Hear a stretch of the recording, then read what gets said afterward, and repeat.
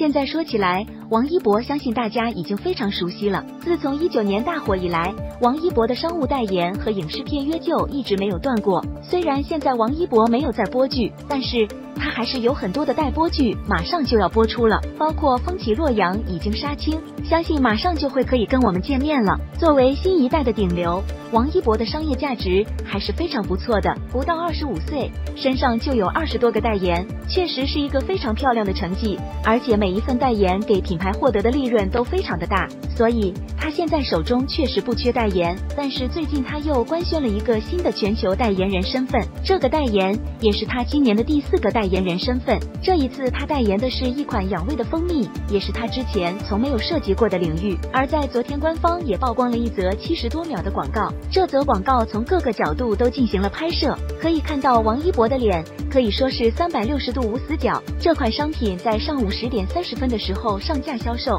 但是很多网友表示，刚刚要付款就看到已经告罄了，所以王一博的粉丝还是非常给力的。其实作为新一代的顶流，王一博不过也才二十四岁的年纪，放到我们正常人身上来说，也就是大学刚毕业的年纪，但是对于他来说。他已经出门工作十年了，在这十年里面，也遭受过各种各样的事情，从不火到有些名气，到如今大火，他一直都是表现的非常平淡，从来没有很骄傲的时候，而且他从来都是喜怒不形于色的人。对于他来说，现在拍戏就是最重要的事情，他想让自己一点一点的变得更强，这样才可以做他愿意做的事，做他喜欢做的事，有理由不去做他不喜欢的事。一个二十四岁的人，每天都要工作将近二十个小时。有人问他为什么成功，其实这就是原因。希望王一博能够给我们带来更好作品的同时，也可以照顾好自己的身体，不要为了工作把自己的身体累垮了，这样就得不偿失了。